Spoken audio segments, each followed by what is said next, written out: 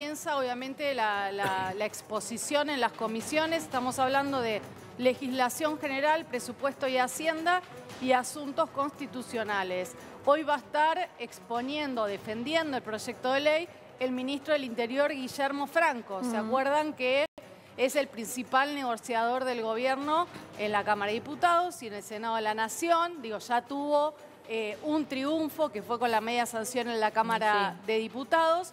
Y eh, de acá al jueves van a estar exponiendo distintos funcionarios, algunos defendiendo también el paquete fiscal en las distintas comisiones. La idea es que el jueves salga el dictamen de comisión y la semana próxima ya esté el tratamiento en el recinto. ¿Qué es lo que cree el gobierno? Que posiblemente se logre aprobar en el Senado de la Nación el proyecto de ley base y el paquete fiscal, pero con modificaciones. Había un cuestionamiento acerca de, ahora que hablaste de modificaciones, había un cuestionamiento, alguien dijo que había, lo que habían mandado al Senado podía Sí, ya tener se un- corrigió. A ver, ¿qué? qué? Lo dijo ¿Qué hoy el, vocero presidencial, Sí. que dijo que había sido una cuestión administrativa, un error de tipeo, que dijo que ella hoy, en el día de hoy, va a estar eh, subsanado.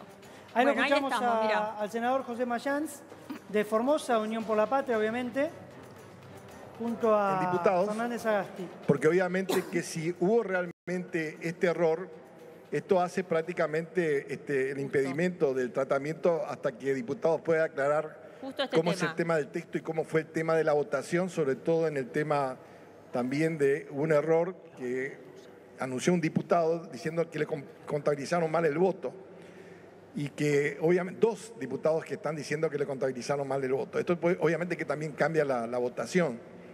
Entonces, este, eh, llamamos la atención con respecto a este tema, nuestra preocupación y este, queremos eh, saber si vamos a poder este, proponer personas que vengan a exponer a la comisión con respecto a los temas de ambas leyes.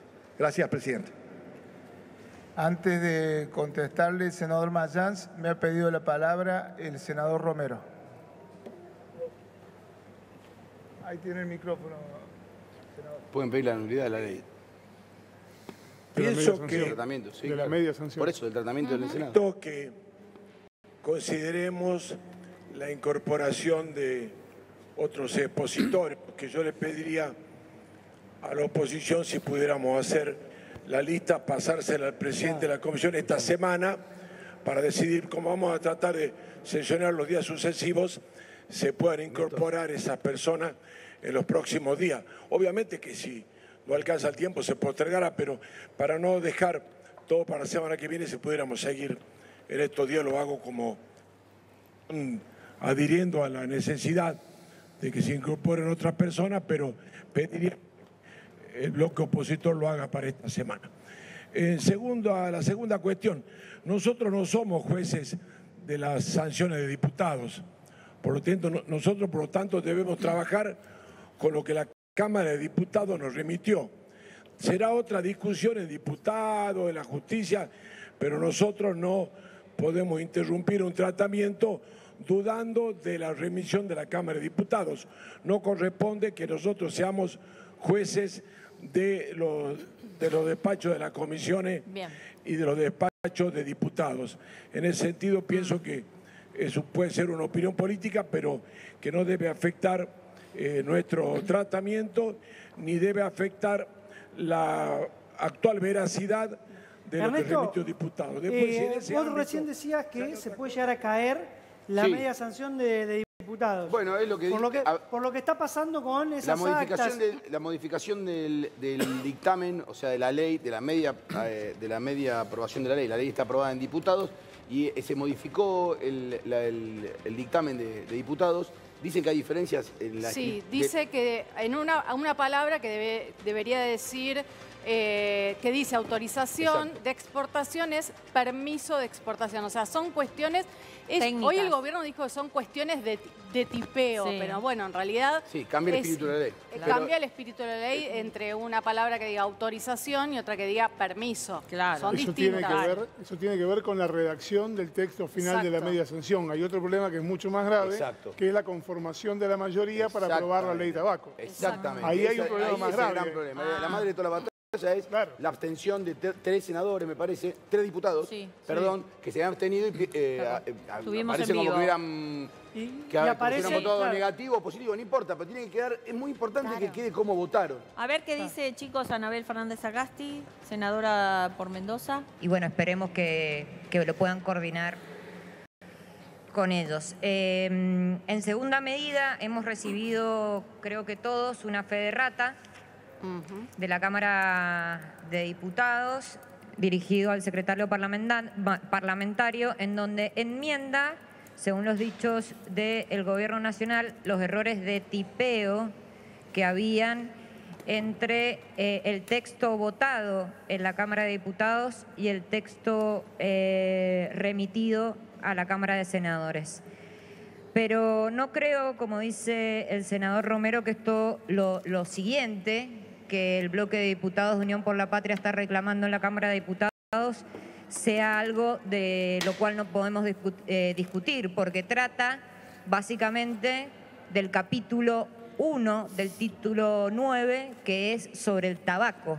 Es todo un capítulo en donde no sabemos cuál es cuál va a ser el resultado de eh, bueno del texto de la ley. Estamos hablando que dos diputados están diciendo que se le ha contado mal su voto y eso cambia la votación, por lo tanto cambia el texto de la ley. Lo que yo le quiero preguntar, señor presidente, es si usted tiene conocimiento de que eh, la Cámara de Diputados eh, esté resolviendo esta situación que es gravísima. Hemos tenido eh, historia en el Congreso de la Nación hace muchos años, yo era muy joven, pero de diputados truchos y un montón de situaciones que la verdad, con la profundidad que tiene esta ley, nos gustaría que por lo menos sepamos si el texto va a ser este, si lo van a resolver. eh, y además sabemos que no nos podemos hacer los distraídos, que justamente este capítulo 1 del título 9 de la ley de tabaco ha sido muy mediatizado con este, acusaciones de lobby por parte de algunos empresarios, eh, sobre todo por la aparición de este capítulo sobre la votación a último momento. Entonces, nos gustaría saber cuál es el texto definitivo sobre este capítulo que vamos a tratar y si usted se ha podido comunicar con las autoridades de la Cámara de Diputados para tener certeza antes de que empecemos eh, con la discusión de la ley. Ahí hay que aclarar que más que el texto definitivo, lo que se está discutiendo es cómo terminó la votación. Exactamente. El texto está claro eso, cuál es. Claro. Sí, Bueno, pero hay diferencias en el texto. También se habla de un, sec- dice sector productivo y en la, en la otra dice etapa productiva. No es lo mismo. No, Una no es lo cosa mismo, es pero, sector y otra pero- cosa es pero- etapa. pero ese supuesto error enmendable queda chiquitito al lado de si hay gente que votó en contra y aparece a favor. hoy el o si hay alguien que gobierno- se abstuvo y aparece votando en contra o a favor. Ahí Sagasti dice, nos acaba de llegar la fe de ratas, o sea que ya se corrigió el- los errores de tipeo que supuestamente dice el gobierno que hubo de la media sanción en la Cámara de Ahora, Diputados. ese error, Ahora Nati. lo que queda saber es qué pasa con estos dos diputados, que hay uno que ya reconoció, dijo que se abstuvo, se abstuvo y le dieron como positiva su voto, como Bueno. positivo. Ahí hay un Bueno, cambio. Bueno, obviamente claro. un hay cambio. un cambio. ¿Y, y el error de quién es? ¿De Martín Menem, del De secretario Martín Menem. parlamentario? De- bueno, sí, o claro, sea, Martín está- Menem, el secretario parlamentario y todos los que Exacto. lo asistían O a él. obvio. La carta de Unión por la Patria de. Germán Martínez, que fue el que eh, hizo la denuncia, el jefe de bloque de Unión por la Patria, va dirigida al presidente de la Cámara de Diputados, obviamente. Después el presidente de la Cámara de Diputados marcará quiénes son los responsables. digo. Y basta con esta más carta en este momento- el error. La persona más preocupada en este momento, perdón, Sí. es Victoria Villarruel. ¿eh? Eso que te iba a que Es la está más desapareci- está Sí, no- desaparecida. No, ¿Por quiere, qué? y No porque quiere ya hablar. tuvo un fracaso ella que le llevó a un enfrentamiento con el propio presidente, que fue el rechazo del DNU. Bueno, Martín Menem también tuvo un fracaso estrepitoso con la Pero ley ómnibus. Porque esto, es una- esto Sí. obtura. A, eh, eh, a ver, la situación que vos tenés en el Senado es esta. Vos tenés 33 senadores que responden a. que fueron electos por UP. Sí, que supuestamente estarían No, todos. supuestamente nada. Yo te digo ya que hay tres senadores que quieren votar el A favor. régimen, el régimen de Bueno, hoy la CGT está reuni- hoy la CGT está- se está reuniendo con los bloques del Senado de Unión por la Patria para ver No si tiene 33. hay Tiene alguna una posibilidad de Sí. O 29. revertir esa, esos, digamos, esos 30, pasarlos a 33. De hecho, la- el gremio de los aeronáuticos denunció que van a escrachar a los senadores Eh. que no voten. Ah, bueno. Bueno, está bien, hay yo una te cuento lo No, que No pasa. perfecto. importa, chicos. Hagamos, para, hagamos una lista realmente de todo, más allá de, de la ley base, que estamos en cuenta regresiva, Ujú. lo decimos. ¿Cuáles son los temas que nos importan? A ver. Ganancias, reforma laboral. bueno. Para la gente que está del otro lado. espere un poco, espere un poco. Espere, el tema, el espero, tema que le señor. importa a usted, no Claro, el tema que no. le importa a los senadores. Usted- Ah, bueno, usted es pero el digo, y a la gente, a No, nosotros. porque los- el Senado representa a las provincias. Y, en- y no El- le interesa la reforma Pero- laboral, pero la te digo por qué. ganancias. Vamos, mirá, Sí. reforma laboral. Básicamente, sí, la- lo, lo que es reforma laboral tiene muchas, Sí. menos, muchas más posibilidades de pasar que, por ejemplo, el paquete fiscal. ¿Qué es el paquete fiscal? Sí. Básicamente ganancias. Vos pensás que uno de cada tres personas que pagan ganancias en la Argentina está en la Patagonia. Hay 18 Mm. De la Patagonia. Dos, el RIGI. Sí. El régimen general de inversiones, que eso sí hizo otro parteaguas. ¿Por qué es otro parteaguas? Porque el régimen general de inversiones es un régimen que puede favorecer mucho a las empresas mineras, pero desfavorecer mucho, por ejemplo, a la a pampa la pyme, húmeda. a la chiquita y a no, la a la pampa húmeda. A la no, pampa no, no, húmeda. a la pampa decimos. húmeda que Está bien, básicamente... por región, decís. Claro, por región. Claro. o sea, La Pampa, Buenos Aires. Santa Fe, a, a la provincia de Córdoba. usted, a Sí. su provincia Sí, lo puede sí. dañar gravemente, porque son provincias que no van a recibir una gran cantidad de inversiones Claro. para aumentar el ganado ovino Exacto. o bovino. Sí. En- Parar. Además de ganancias, vos tenés el fondo, Para, el ver, fondo previsional, el fondo de garantías. Pero que- esos son, esos son las dolencias que, que están pasa, casi que pasaría a rentas generales, con lo cual Sí, pasaría. pero- Bueno, pero ¿cuántas provincias dependen, cajas de las provincias dependen de ese fondo? Porque durante los gobiernos como el de María Eugenia Vidal en la provincia de Buenos Aires, liquidaron 18 mil puestos de trabajo sin que ingresara ninguno es formalmente y se desfinanciaron las cajas jubilatorias. Eso es lo que está Pero entonces, ¿qué quiero establecer? ¿Qué quiero establecer? Que además de la cuestión de los trabajadores y trabajadoras por el impuesto a las ganancias, también están los jubilados en esta discusión, donde los fondos que hoy tenían para garantizar las cajas jubilatorias van a ir a la timba financiera que plantea Javier Milei. Las jubilados no están en la discusión y porque la moratoria provisional te diría que es casi aceptada por todos los gobernadores. a ver, eh, vamos Sí, a ir punto por punto con unas placas que preparó Nati, explicando cada uno de, eh, o cada una de las cuestiones más importantes de esta ley base. Dale, Nati.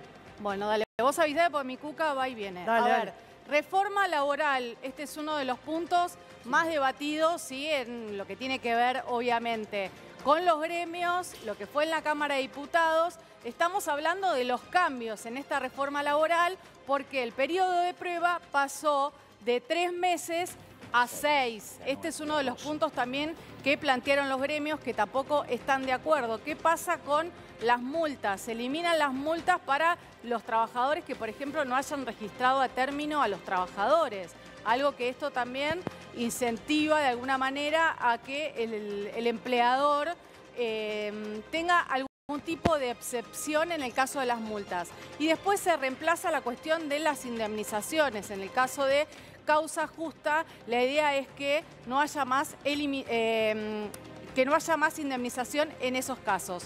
Otro de los puntos también tiene que ver con ganancias. Se debatió mucho el tema de volver al pago de ganancias de los trabajadores, que se resolvió que los trabajadores solteros que cobren más de 1.800.000 pesos van a volver a pagar ganancias. ¿Y qué pasa con el trabajador casado? A partir de 2.200 millones de pesos va a empezar millones. A tributar millones. este impuesto. Dos millones doscientos Dos mil. millones. 2 millones 200 mil, exactamente. Bien. Esto es casados con hijos, ¿no? Sí, sí. Digo, era un, mon- un, un impuesto que hasta ahora estaba exceptuado Mm. eh, porque, bueno, fue una decisión del Ministerio de Economía, del gobierno de Alberto Fernández, de Sergio Massa, donde en plena campaña electoral se tomó esta decisión y ahora el gobierno logró incluirlo dentro del paquete fiscal que se va a estar tratando la semana que viene en el recinto de la Cámara de Diputados. Y esto es lo que habla siempre Tami, qué va a pasar con la moratoria previsional. Se crea la figura de la prestación de retiro proporcional. Esto es que los que estaban, por, por lo menos los que tenían intención de ingresar a una moratoria para jubilarse, no lo van a hacer, no lo van a poder hacer en las mismas condiciones que hasta ahora. Así que bueno, esto última. y esto tiene que ver obviamente con las facultades delegadas. Este es el, el primer artículo de la ley de bases que se le otorga al presidente de la Nación la potestad de tomar decisiones en caso de emergencia administrativa, económica, financiera y energética. El debate era, bueno, se, se le ha otorgado a todos los presidentes, pero Claro. Milei no es eh, cualquier presidente y no se sabe qué Sí. va a hacer con estas facultades delegadas. Ambos, Eh, Julián y, y los dos quieren En- decir en, algo. a relación, en relación con lo, que, con lo que decía el compañero antes, uno de los grandes problemas que existe en la Argentina es la concentración de ingresos a manos de unos pocos. Las exenciones impositivas que eh, mencionaban Decía hace un ratito, por ejemplo, eh, tiene que ver, no es lo mismo hacer exenciones impositivas al poder financiero y a las grandes corporaciones como las que estimulan la producción y la industria local. Lo mismo pasa con por ejemplo, la política de aranceles. No es lo mismo poner aranceles a insumos que tienen que favorecer a la producción nacional, entonces en- encarecer insumos para eh, dificultar la competitividad de la industria, que eliminar los aranceles, como está haciendo este gobierno, eliminar los aranceles para los bienes que vienen a competir contra la industria. Y lo del tema, lo del tema fiscal y que hacen centro en ganancias, nosotros lo dijimos siempre. El tema de los impuestos, cuando dicen vamos a bajar un impuesto, el tema es bajar un impuesto, pero eso se va a compensar con suba de otro impuesto. Hablan de ganancias. ¿Y por qué aumenta ganancias? ¿Por qué le duplican para todas las categorías a los monotributistas el costo del monotributo? Entre otras cosas, por las exenciones impositivas, por la evasión fiscal, etcétera, pero también por la eliminación de eh, bienes personales, que baja del 2,25 al 0,25%. Entonces, las bases imponibles altas, las grandes corporaciones no están pagando los impuestos y entonces eso Sí. cae sobre el conjunto del pueblo. Ah, Ni que hablar que se está repitiendo exactamente igual, pero peor, Sí. porque Macri lo había dicho, si volvemos a hacer gobierno lo vamos a hacer lo mismo, pero más rápido, lo mismo que pasó con el gobierno de Macri. Apenas le quitan los impuestos a, los- a las bases imponibles altas, se cae encima el peso de los impuestos sobre las espaldas de los sectores más vulnerables. Colo. O sea que estamos en presencia de un paquete fiscal regresivo que le da facilidades a los grupos concentrados para que paguen menos impuestos y le graba nuevamente a los trabajadores, por ejemplo, el impuesto a las ganancias. Quería agregar al informe, que muy, muy claro fue, Sí, le baja a los que más tienen que con el hay que personales, combinar ¿no? la ley bases con el DNU porque si no, no está toda la verdad.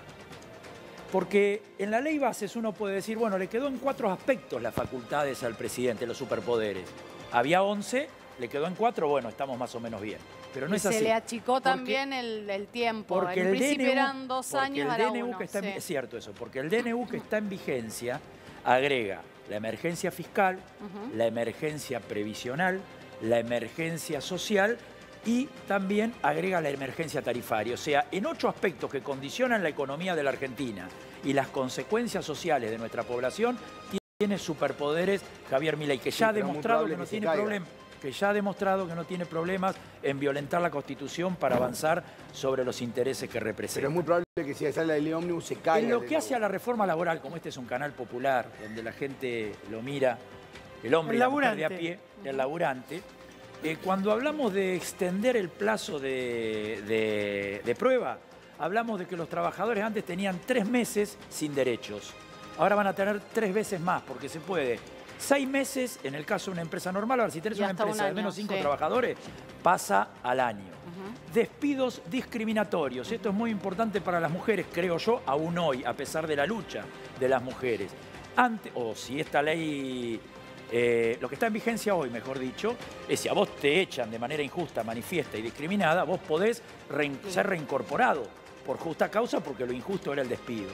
Hoy vos, si sale esa ley, si sale esa ley, una mujer acosada por el patrón y que luego la echa como represalia, no va a poder reintegrarse al trabajo porque la ley no obliga a que Sí, se hablar de la trabajo, figura esa- Solo va a haber una indemnización extra para esa persona. En un país donde volver al mercado laboral es muy difícil, que te echen por más indemnización que te den, díganme si no se perjudica al No, trabajador y a la pero... Vamos a, vamos a otro aspecto que me parece a mí eh, muy importante. Vos pagás tu propio despido a partir del fondo de, de desempleo de, o de, de- cese, de, de cese laboral. Pagás tu propio despido. Entonces, estamos hablando de que hay un debilitamiento en los derechos de los trabajadores y trabajadoras si se sanciona esta ley. Y es importante bajarlo a tierra.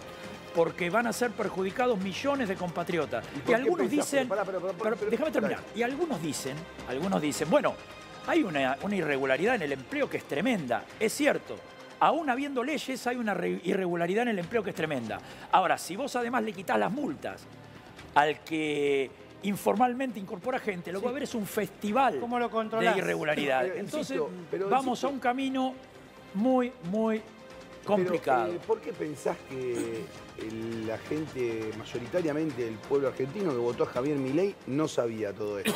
Si me permitís, Votó para estar si- mejor, no votó si para. No votó ni para la. interpretación, mi es una libre interpretación. Una, un- a ver, un candidato... Prometeme que no me vas a interrumpir y yo te doy mi explicación, mi humilde explicación. La mayoría de nuestro pueblo votó por vivir mejor. Haya votado a quien haya votado. Parte de quienes votaron a Alberto Fernández en el 2019 votaron a Javier Milei y le posibilitaron el triunfo en segunda vuelta. Lo, digo claro, lo dejo claro esto porque es importante. Tenían la expectativa en Alberto Fernández de, de tener un laburo más lindo, tener más... No cumplió. no pudo, no supo, no quiso. Entonces, el voto se- parte de ese voto se trasladó a Javier Milei. Ahora, es un voto con expectativa de vivir mejor. ¿Por qué lo primero que saca Javier Milei es el decreto de necesidad y urgencia? Porque la necesidad y urgencia que hay, la única que hay, es ganar posiciones lo más rápidamente posible por parte de los grupos concentrados, porque el consenso, el consenso electoral se le va a horadar, porque la mayoría de nuestro pueblo votó por vivir mejor. Cuando eso no suceda, y ya se está viendo, empieza a horadarse ese consenso. ¿Se puede hacer un comentario al respecto? Está bien, pero. ¿Se entendió? la- primero, la promesa de campaña de Alberto Fernández y la de Javier Milei eran muy distintas. Segundo, o sea que no es comparable en ningún. Alberto Fernández no hizo campaña Te estoy diciendo. diciendo lo- por lo "Va- que creo que votó la gente.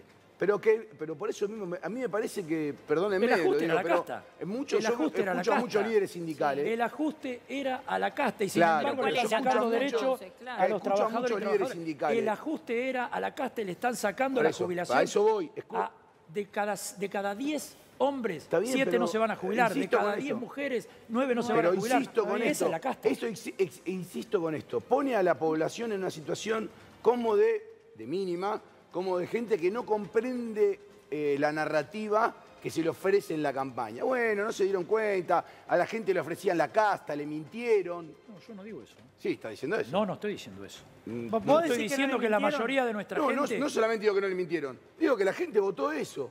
Claro, esa nadie es tu puede, teoría. nadie- o sea, a ver, no me papá, a mí como que- una persona con una motosierra haciendo una campaña. Está bien. Ah, eh, la casta. Pero en, esa, pero en esa campaña la casta no era la clase No media, era, por claro, No, pero parecía, eh, a no, ver, no parecía ver, que, fue- a ver, que era la casta. Si vos, ¿cuánto puede ser la casta de un país? ¿El 1% del país? ¿El 2%? Si No, vos pensás casta- que vas a recortar la No, casta en serio. y no te va a afectar, es porque realmente no pensás eso. En la Argentina, el gasto público la Argentina o inversión social, el 60%, 67% son todo lo que es la protección social, desde jubilaciones hasta UH. No, Esto- 40%.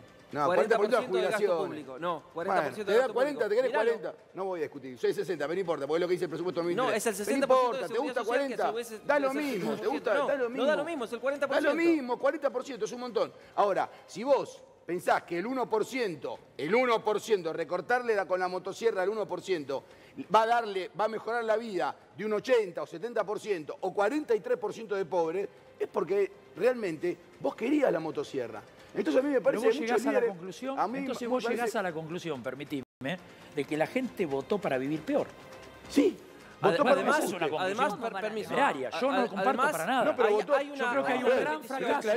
Creo Hay que hay un gran Pero fracaso perdón, del hay, una mal- hay anterior. un diagnóstico errado. Hay que Perdón. la gente busca. Hay una, de a uno, vamos de a perdón, uno. Hay una, eh, digamos, nosotros recordamos, esto no es solamente una teoría abstracta, nosotros recordamos cuando Cavallo, por ejemplo, decía, gracias a eliminar los aportes patronales, etcétera, las empresas van a estar ávidas para contratar trabajo. ¿Qué pasó durante la convertibilidad? Eso lo hablamos hace un ratito. ¿Qué pasó en aquel momento? El desempleo aumentó. ¿Por qué? Porque las empresas perdieron Sí, libertad. pero- no, porque pero- se destruyó, déjame terminar, porque se destruyó el poder adquisitivo de la mayoría del pueblo. Esto es lo mismo que está pasando No, ahora. eh, pero- Entonces quieren convencer de que haciendo esta libertad para las empresas, entonces el empresario va a estar ávido para contratar trabajo, pero es mentira, porque están destruyendo el poder un adquisitivo de la masa El gobierno de. Mauricio Macri. Cuando no haya consumo, entonces no hay atractivo Bueno, para inversión. vamos a la- empresa, el empresario invierte cuando puede vender. Si no puede vender, por más que tenga libertad, no Está va a invertir. Eh, muy bien, vamos a las efectividades conducentes, como decía una persona. Eh, ahora, vamos a las efectividades conducentes. Eh, Yo te pregunto, ¿El gobierno de Mauricio Macri fue bueno o fue malo para el pueblo? Fue malo. Sí. Bien. ¿Cómo terminó eh, Mauricio Macri en la elección de 2019? ¿Cuánto sacó? 41% casi. Casi 41%. Bien. Ahora, ese 41%, ¿no, sa- habi- ¿no había sufrido el ajuste de Macri? Sí. Y sin embargo, ideológicamente, no quería bajo ningún aspecto que ganara el peronismo. ¿Por qué subestiman a la gente creyendo que Milei le mintió y suponen que... Suponen, ahora déjame terminar a mí. déjame terminar a mí. Suponen que la población... No, no, al revés. Yo creo que las personas que votaron a Javier Milei mayoritariamente eran conscientes que iban a vivir un profundo ajuste. Y lo votaron aún sabiendo que iban a sufrir un profundo, un no ajuste que para que lo otro terminara. Exacto. Porque si no, es creer que la gente es tonta y que la engaña. Entonces, Javier Milei va a una provincia con una motosierra y la gente dice, no, a mí no me va a tocar. ¿Cómo no te va a tocar? Una motosierra es claramente la mejor metáfora de un ajuste global. Mira, Milei no solo que no solo que ha mentido acá, sino que también le miente, le miente en la cara a Estados Unidos cuando vuelve a decir la- las burradas que dice que Argentina está en el puesto 140 del mundo. Según las estimaciones del Banco Mundial, Argentina está en el puesto 22 del mundo. Primero. Segundo, lo que vos hace un rato me criticaste, que diste números como una ensalada. No, lo que es mentir es confundir a la gente metiendo todo en una bolsa como por ejemplo, está todo mal. Mira, yo te diría, te podría en esa misma lógica decir, mira, en el 75 la pobreza era del 5%, ahora del 60%. Entonces, estuvo todo mal. No, ya hablamos hace un ratito. Hubo periodos en los cuales aumentó la pobreza, periodos en los cuales bajó la pobreza, volvió a aumentar. Hay que analizar por qué pasó. También te podría decir una mentira. Mira, en el 2002 el PBI era de 130 mil millones de dólares, hoy es de 630 mil millones de dólares. Entonces, uniendo punto por punto, yo te podría decir, el siglo XXI fue todo bueno para la Argentina, pero es mentira. Hubo periodos en los cuales subió el PBI, periodos en los cuales bajó el PBI. Entonces, hay que explicar las razones que hacen de cada una de esas cosas. Y respecto a lo que ustedes eh, decían de la, del régimen para incentivo a las grandes inversiones de- desde el exterior, lo que está habiendo acá, y en, en línea con lo que estábamos hablando con el compañero antes, del modelo extractivista que no incentiva la producción local y la industria anclada a la utilización de los recursos, de los recursos naturales nuestros, lo que promueve es la liberación, eliminación de los derechos de exportación, eliminación de los derechos de importación y liberación, al igual que el decreto ley de Menem de 1989, para permitir la, eh, la remisión de utilidades hacia el exterior progresivamente y muy rápido, tal que al tercer año, cuarto año, ya es el 100% de las Sí. utilidades. Espera, bueno, eso, ¿eso qué es? Un. ¿Sería la venta de la patria? Bueno, los argentinos no lo queremos. Nadie votó eso. Chicos, la gente votó con expectativas. Gracias, Yo, Julián. Estamos, permite- perd- una sola cosita, porque estamos en la cuenta regresiva para la ley de bases y también para el paro del jueves, Sí. porque todo esto también viene en este marco. Queremos recordar, Nati nos preparó Sí. el ranking de los paros durante la democracia, del retorno de la democracia hasta ahora. ¿Cuántos paros se le hizo a cada presidente, Nati? Bueno, a ver, hagamos un poco de historia, ¿no? Porque Sí. siempre cuando un gobierno le toca pasar por un paro, eh, lo que recuerda es lo que pasaron sus anteriores, ¿no? Claro. Javier Milei ha cuestionado mucho que la CGT estuvo muy dormida durante el gobierno de Alberto Fernández. Bueno, primer presidente de la democracia, Raúl Alfonsín, que gobernó casi seis años, no llegó a los seis No llegó, años. no terminó. Exactamente cinco años y siete meses, 13 paros tuvo Raúl Alfonsín de origen radical, Sí, ¿no? Por claro. si alguno cuestiona si es La época de radical, peronista. ¿eh? La época de Ubaldini. Exactamente. Ahí empieza a resurgir muy Claro. fuerte lo que tiene que ver con los movimientos gremiales.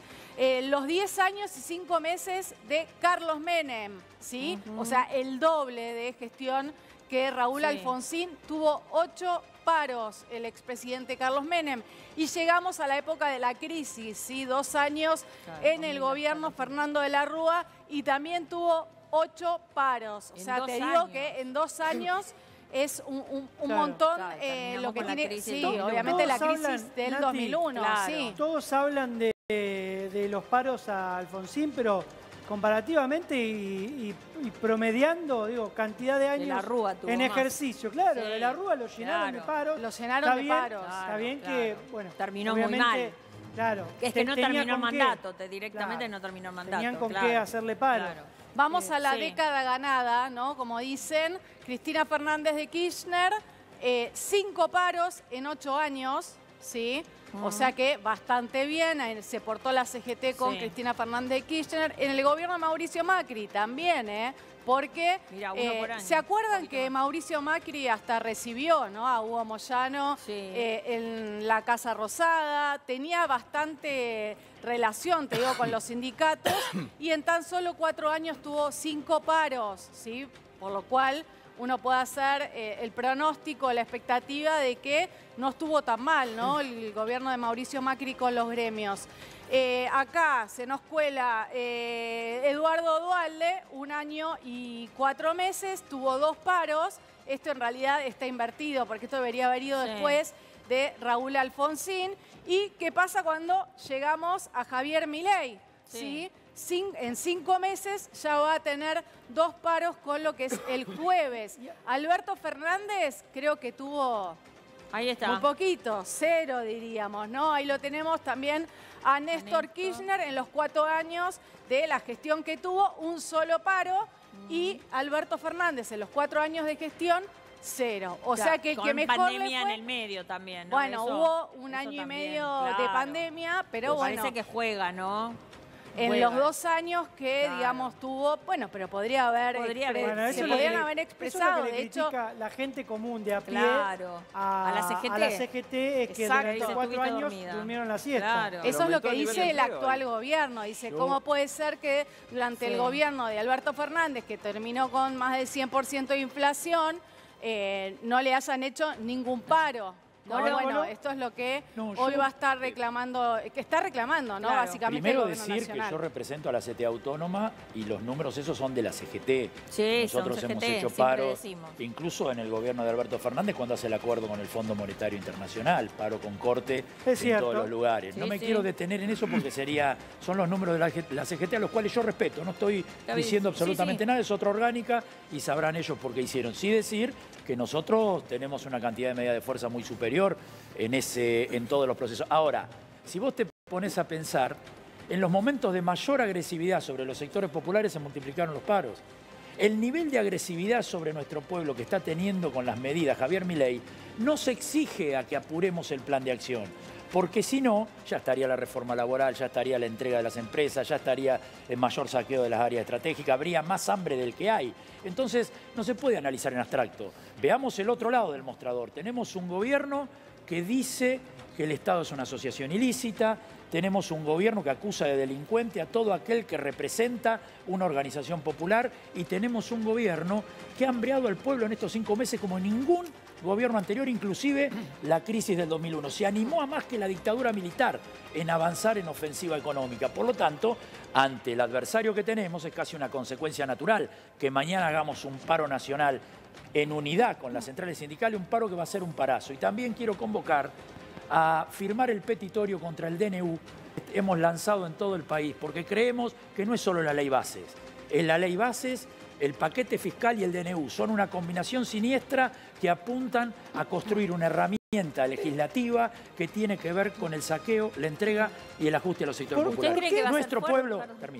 Perdón, Nuestro pueblo votó por vivir mejor. Y como estoy convencido de eso, el consenso electoral se va a ir horadando y rápidamente el gobierno o cambia de rumbo o va a encontrarse cercado por las demandas ¿Vos populares. decís que va a cambiar de rumbo? Hoy Adorni dijo no, no Está en se el va gobierno a nada por, por la. Nosotros Por ejercemos nos porque hay no otra hay otro operativo que nos quieren poner como golpistas. ¿Qué nos van a poner como golpistas si nosotros recuperamos la dictadura de la dictadura militar, la democracia? El 27 de este mes se cumplieron 45 años cuando Saúl Baldini, lo mencionaron acá, Sí. encabezó a la CGT con el primer paro contra la dictadura Mm. que empezó el proceso de resistencia. Y ahí no era una cuestión de debate parlamentario, te desaparecían y Eh. Somos defensores de la democracia. Lo que pasa es que hacemos, ejercemos el derecho constitucional de protestar cuando las cosas nos parecen que no van como queremos. Totalmente. Eh, le quería preguntar a Ernesto, Néstor, Nati, Sí. ¿qué pasa con el tratamiento del DNU en diputados? Está Nada. parado. Está parado. ¿Pero por qué? ¿No, no no- hay un cierto tiempo Sí, de tratamiento sí. de Sí, un bueno, DNU Primero en las que cámaras? sí, las comisiones, el armado de las comisiones y después creo que son 10 días hábiles para que llegue Lo que pasa- eh, a la comisión, pero bueno. Los DNU que se firmaron durante el gobierno de Alberto Fernández, Nunca por se ejemplo, trataron. nunca fueron tratados. Lo Nunca. que pasa es que el de, la- Eso es presión también de los bloques. De- a ver, en el. Senado de la Nación presionaron los bloques de Unión por la Patria, que obviamente son mayoría. Eh, había un tiempo legal, obviamente reglamentario, que, y también, te digo, con la ayuda de Victoria Villarruel. hubo una jugarreta, claro. de Hubo una ayuda ahí. Martín Menem tiene la orden de de ninguna manera Plancharlo. tratar el DNU en, en- en- aparte en medio de lo que es eh, la ley de bases. A Lo que pasa es que el, el tema es ese. hay prioridades para este gobierno y hoy, hoy me decían, si la ley de bases, eh, ponele que pasa el Senado y llega a la Cámara de Diputados, el pacto de mayo se firma igual. A ver, por más que no esté la sanción definitiva de la ley, el pacto el 25 de mayo se firma igual. Nos da lo mismo que esté aprobado en diputados o no, porque total, en diputados ya se aprobó. O sea, si sale el Senado y va a diputados con cambios, no pasa nada. Si se, si se termina aprobando después del 25 de mayo, No el pacto tampoco. igual se firma. No, no, digamos que no está atado a eso. El horizonte del 25 de mayo que puso Javier Milei es fruto de la debilidad y no de la fortaleza. Porque el pacto era la ley ómnibus y la movilización popular hizo que se cajoneara. Entonces, ante esta derrota, planteó el 25 de mayo como nuevo horizonte. Si hay- Entonces si hay nosotros vamos a hacer todo lo posible para que llegue debilitado a su intento colonial, que no es una actitud golpista, debilitado en su intención de avanzar y hacer un acuerdo colonial de entrega de todos los recursos, como dije Si anteriormente. la ley ómnibus se aprueba, va a ser mu- muy probable que se caiga el DNU. Claro. Porque eh, la ley, la ley ómnibus lleva casi todo lo que necesita el gobierno para, para llevar adelante su plan de gobierno, las herramientas que necesita para los próximos, por lo menos, hasta llegar a las elecciones de medio término. Y porque lo que no logre en la ley base lo va a lograr, a lograr con los superpoderes. Lo más importante que tenía el DNU, Con- claro, que era el la paquete. Claro, con la la- facultad de- parte de lo que tenía el DNU, que era eh, lo que incluyeron en la ley bases, por ejemplo, lo del paquete fiscal, que era lo más importante para el gobierno, ya la- lo logró meter ahí. El gobierno, le importa, el gobierno lo, más, con lo que más le importa al gobierno en este momento no tiene que ver con la ley. ¿Qué es? Tiene que- con los dólares. Argentina Dólares. es un país que le faltan dólares, Necesita tiene- dólares, le claro. faltan muchos. ¿La mu- reserva sigue negativa? Bueno, la reserva en teoría no, pero lo que pasa es que vos tenés que descontar que en la Argentina muchas de las reservas que estás juntando después se tienen que volver al Fondo Monetario Internacional. El Fondo Monetario Internacional es el, eh, en la Argentina es, si vos lo querés pensar así, es el árbitro